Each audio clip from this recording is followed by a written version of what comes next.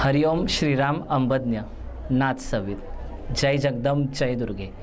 संदेश शरद कोळलीकर इचलकंजी उपासना केंद्र. दोन हजार बारापासून माझ्या बाबांच्या पोटामध्ये खूप दुखतं. मग कोल्हापूरमध्ये इचलकरंजीमध्ये डॉक्टर तर त्यांचे ट्रीटमेंट चालू होती बाबांना. मग ती ट्रीटमेंट संपली. अल्सर वगैरे चालूच होता दोन हजार बारापासून दोन हजार सतरामध्ये बाबांच्या पोटात एवढं दुखाय दुखत होतं की अक्षरशः ते आमच्या घरामध्ये जो हॉल आहे अक्षरशः गडागडा लोळत होते हॉलमधून.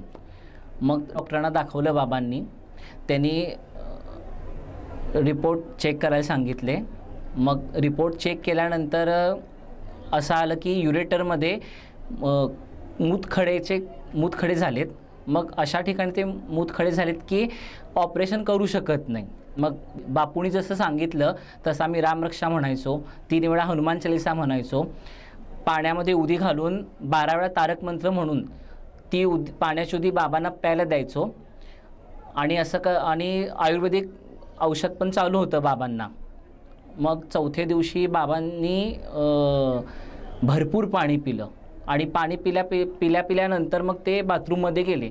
मग आता आईच्या लक्षात आलं की औषधाचा गुण आला आहे आणि बापूंनी पण गुण दिला आहे तिनं सांगितलं बापूंना की त्रास व्हायला नको अशा पद्धतीनं मूतखडा पडू दे.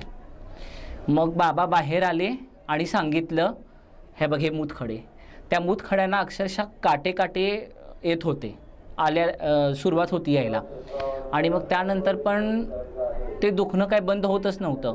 परत तीच प्रोसेस परत गडागडच लोळाय लोळत होते. डॉक्टर म्हण डॉक्टरांनी पण आश्चर्य केलं की ऑपरेशन न करता हे मूतखडे आलेच कसे काय बाहेर? आयुर्वेदिक ट्रीटमेंट चालू होती. बापूंचं नामस्मरण चालू होतं. आणि रामारामा आत्मारामाच्या माळा पण चालू होत्या. हनुमान चालिसा पण चालू होती तेव्हा. त्या पद्धतीनं ते मुतखडे पडले. त्यानंतर मग परत डॉक्टरने सांगितलं स्कॅन करूया. पोटाचे रिपोर्ट क त्यांनी काढले. त्याच्यामध्ये बाबांना अल्सर झालेला दिसलं. माझी बहीण मिरजेमध्ये भारती विद्यापीठमध्ये नर्स आहे. ती म्हटली मी इकडं या. मग लोकूर डॉक्टरांना दाखवलं. त्यांना सगळे रिपोर्ट वगैरे दाखवले.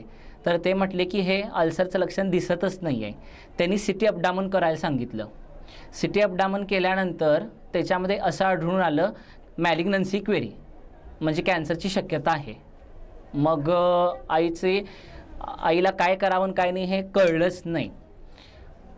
मग त्यांनी सांगितलं ऑपरेशन करायला पाहिजे. तुम्हाला तुमचा पेशंट जर जिवंत पाहिजे असेल तर.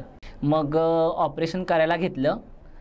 पोट फाडल्यानंतर तो अल्सरचा जो गोळा आहे तो डॉक्टरांच्या हातात फुटला. ऑपरेशन जर झालं नसतं तर माझे बाबा जिवंत नसते. मग डॉक्टरांनी व्यवस्थित ऑपरेशन केलं. डॉक्टर आले. त्यांनी सांगितलं ऑपरेशन व्यवस्थित झालेलं आहे. शंका आहे मॅलिग्नन्सी क्वेरीची. ते रिपोर्ट आपण पाठवूया. काय येतात बघूया. मग कॅन्सरची शक्यता. आईनं परत बापूंचा धावा केली. मग बारा फेब्रुवारी महिना होता दोन हजार अठरा सालचा.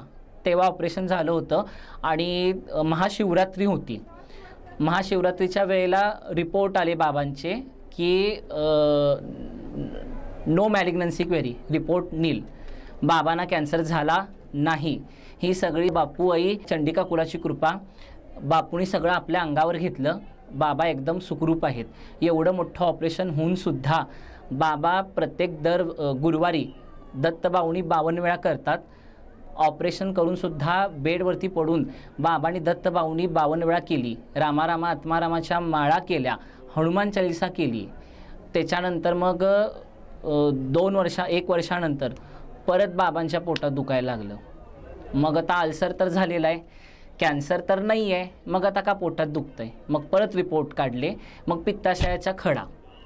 मग पित्ताशयाची खडा पित्ताशयाची पिशवी काढली. त्यात त्याच्यानंतर पण पित्ताशयाची खडा खड्याची पिशवी पण काढून बाबांनी हनुमान चालिसा एकशे आठ वेळा केली. गुरुवारी दत्तभाऊनी बावन्न वेळा केली आणि रामारामा आत्मारामाच्या माळा सोळा वेळा केल्या. त्याच्यानंतर ऑपरेशन झाल्यानंतर सहा महिन्यानंतर परत पोटात दुखायला लागलं. रिपोर्ट काढल्यानंतर कळलं हर्निया झाला आहे मग ऑपरेशन करायला घेतलं तर एके ठिकाणी दोन हर्निया.